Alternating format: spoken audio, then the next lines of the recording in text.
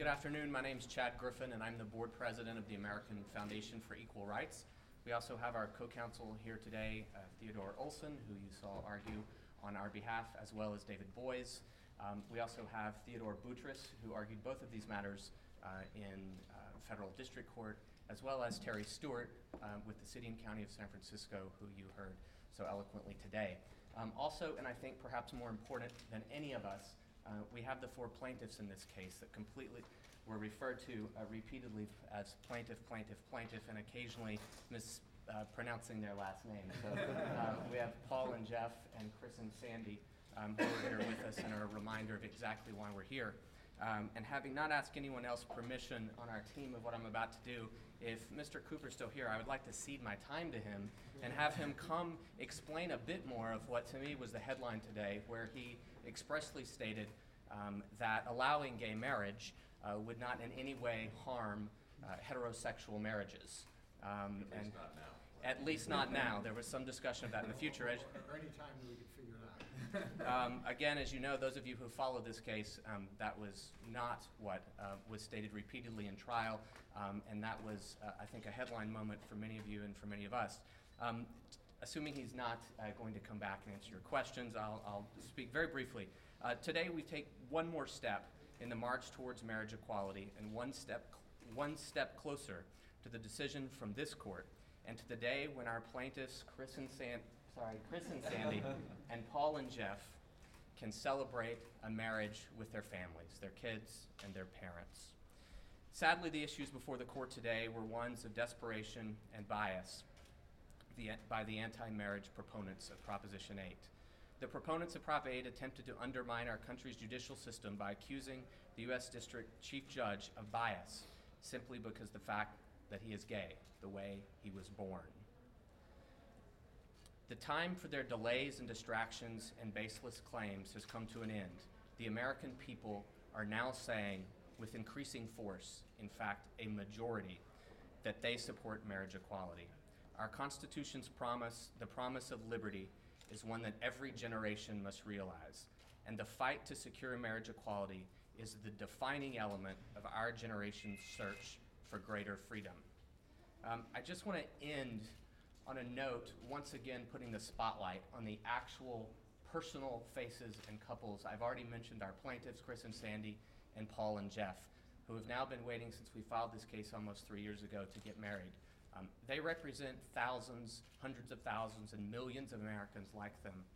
And some of you may recall, in fact, some of you here wrote profiles of Darren and Ed, a couple who had been together for almost 40 years um, and were brought to the public attention by the Courage Campaign, by the Los Angeles Times, and by many of you who talked about them. About a year ago, they made their story public that they had been together for 40 years. They met at Polytechnic in San Luis Obispo, and they were living their lives 40 years together in Palm Springs. And they wrote a very eloquent letter and a video saying that they could wait no longer. They wanted to get married because Ed had been diagnosed with Alzheimer's and they wanted to get married while Ed could still remember the occasion. And sadly, Ed passed away last night, and they won't realize that dream. Um, and I think today could be a moment where we remember Darren and Ed, and that we don't allow any members of this generation and young people and couples like these plaintiffs who want to get married to deny them that right. It is time to stop treating them as second class citizens, and we are well on our way. And with that, I will turn the podium over to our brilliant co counsel uh, who have led this case and represented uh, these plaintiffs um, for the last three years. Um, Ted, David, And Terry. and Terry. How about, you want to do this in alphabetical order, David? I'm going to, I'm, I'm to be very brief because, I mean, I think Chad really said it. Um, When we started out in this case, we said we were going to demonstrate that marriage was a fundamental right and that depriving gay and lesbian citizens of that right terribly harmed them and their children, and that depriving gays and lesbians of marriage equality didn't help anybody. Um, They conceded that marriage was a fundamental right, they just said gays shouldn't have it. Um, Their experts conceded that not allowing gay couples to marry grievously harmed them and their children. And today, you heard them concede that allowing marriage equality isn't gonna hurt anybody else's marriage. That's what we said from the beginning.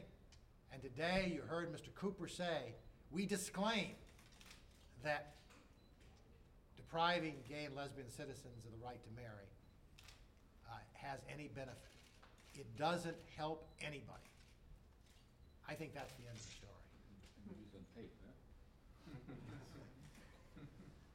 And you saw today how hard the proponents behind Proposition 8 will fight to prevent and delay a resolution of this case. The first hour was about whether or not the American public could see what happened during that trial. And our opponents make the argument that somehow witnesses in a case that might take place in the future would be discouraged or harassed or intimidated. Yet all of their witnesses testified on video depositions that are available on websites anywhere. And there was not one single shred of evidence that any witness would be intimidated by seeing what, for, by the American public seeing what happened in this trial. We are anxious for the American people to see what some of you saw every single day in this trial, the truth. And to see what the judge had before him when he was making his decisions, and to listen and hear, to see uh, the witnesses actually testify under oath, and some of them subject to David Boies's cross-examination. They don't want you, the American public, to see the trial. They claim that they were somehow misled by the district judge. This is the first time a lawyer's ever said, gee, a judge ruled a certain way, and therefore it can never be changed, and I somehow relied on that, and so forth. They're saying that they do not want the American public to see what happened in this trial. Now, is there any good answer to the argument that the American public should not see the trial of a constitutional right of hundreds of thousands of Americans that 13 million citizens of California cared enough about to vote on. And this involves the Constitution of the United States. And they don't want you, the American people, to see it. What does that tell you? The other thing is that they're saying that inferentially, because they don't—they—they after, a year or so after the trial, when they knew darn well um, the judge's sexual orientation, that that case should be thrown out and everybody should start all over again because is, he's gay. Which is, as David pointed out, I think, extremely eloquently, as, as did Terry.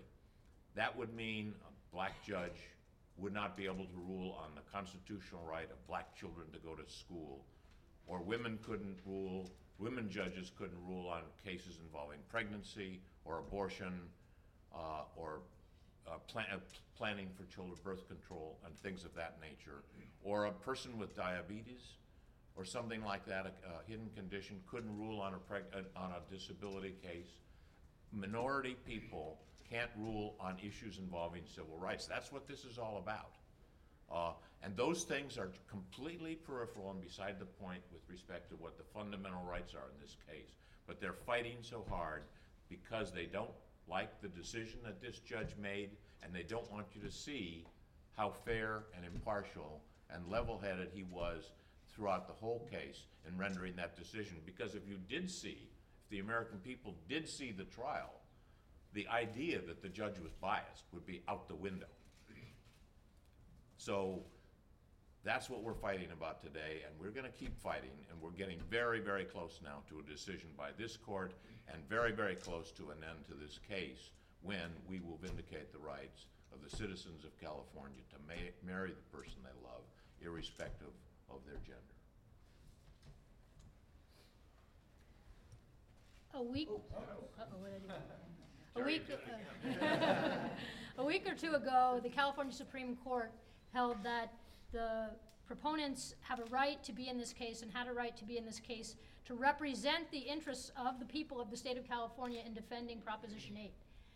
And yet, they come to court and argue that they can conduct the trial on behalf of the people without the people being able to see the video recording of that trial. We have a statute in California, not to mention constitutional cases, that says the people don't delegate to their public servants the right to decide what's good for them to know and what's good for them not to know. And so the proponents of Prop 8 here have no business as claiming the mantle of the state and representing the people of trying to hide the work that they did in the trial, not to mention uh, the, the opposition in the trial and the witnesses and evidence presented on the other side from the people who they claim to represent. Um, I want to also just add on the motion to disqualify, um, we in the gay community have heard for way too long, um, oh, it's not because they're gay, it's because they have a relationship, because they have an intimate relationship, because their relationship is this or is that. That's what that motion was about today. It was saying, it was trying to say this isn't because he's gay, but I noticed they didn't say he, if he was a heterosexual getting married, there would be a problem. It's because he's gay and he's in a relationship, and it doesn't distinguish him. Every gay person has the right, like every heterosexual person, not only to marry tomorrow or next week, but even if they think they don't want to marry um, right now, they're convinced of it, they get to change their mind. They have the right, the freedom to change their mind, and they have an equal interest in that.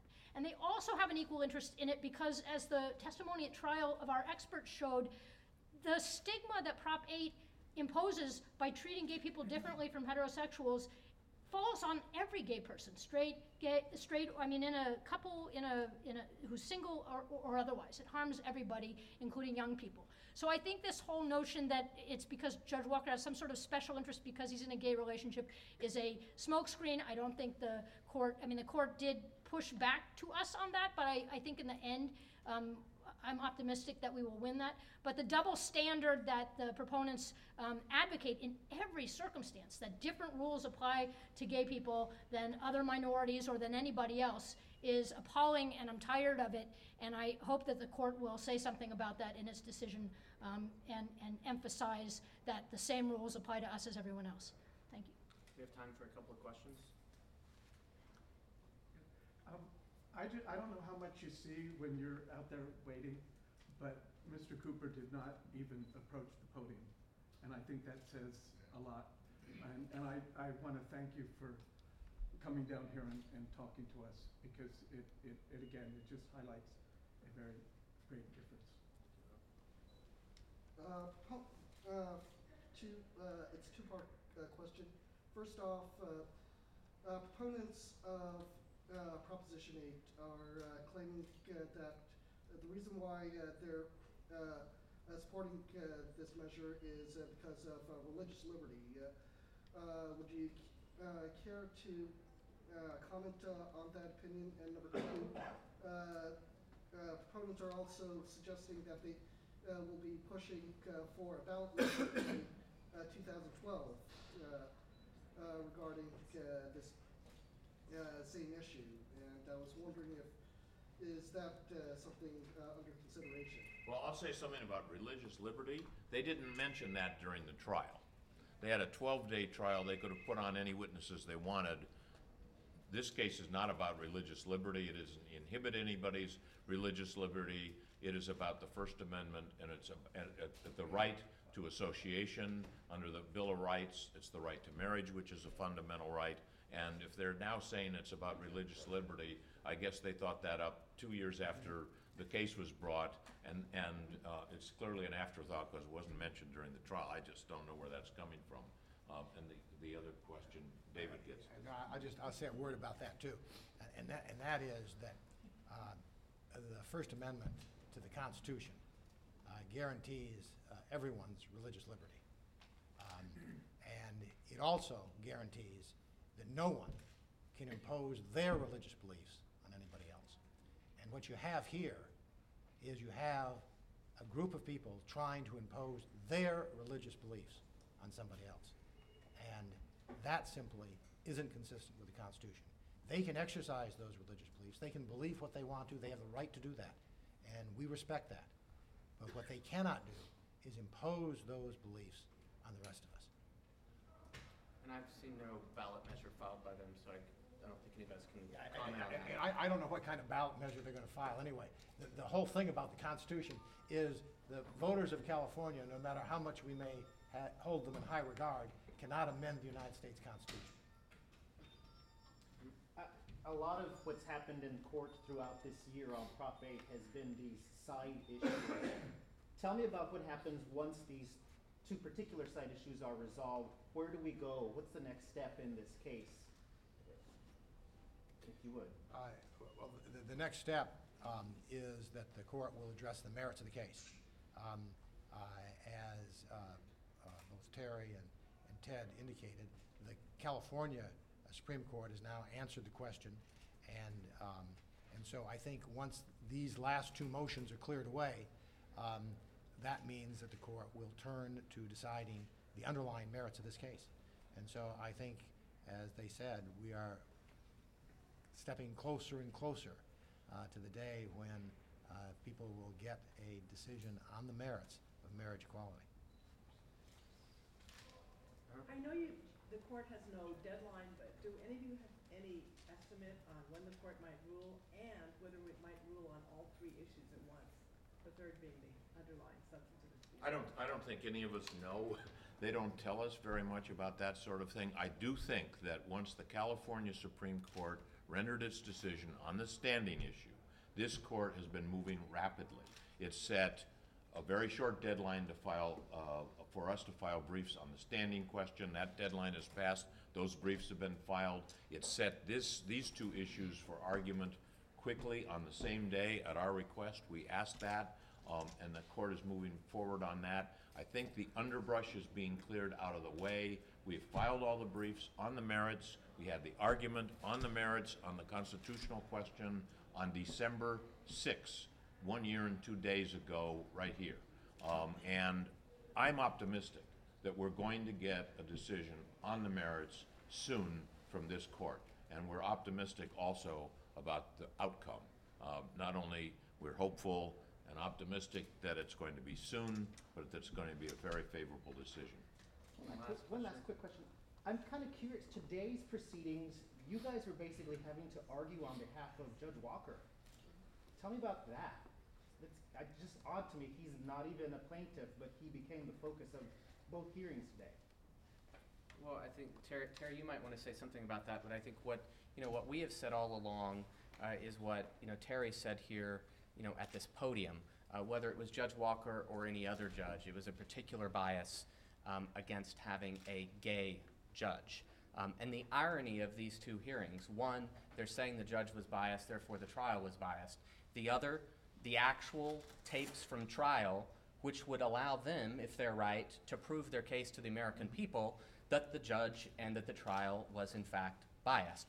One would think it would be quite the opposite. If, if what they believe that they said uh, in round two today is true, you would think they would be the ones arguing for the trial tapes to be made available for the world to see so that they could prove to the American people um, their, the very point that they have worked so hard uh, to attempt to convince judges and the public of.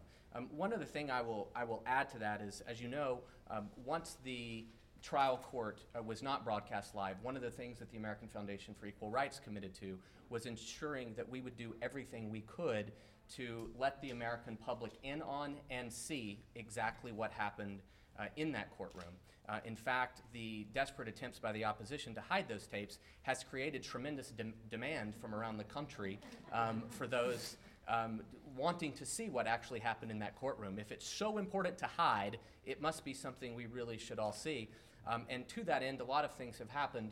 Um, one, we had the premiere of 8LA, a play that was written based on the exact trial transcripts from the federal district trial that premiered uh, in New York with award winning actors and cast uh, playing the actual individuals on both sides uh, from trial. On March 3rd, um, that same play will debut uh, in Los Angeles, directed by uh, Rob Reiner, um, as well as um, Michele Reiner, a producer, and Adam Umhoefer, as well as uh, Lance, who brilliantly put together um, a, a fair portrayal of what happened in that courtroom. And at some point next week, uh, we will be announcing the cast uh, that will be playing um, those who are behind me um, and those who were previously at this podium. Um, so be careful what you wish for.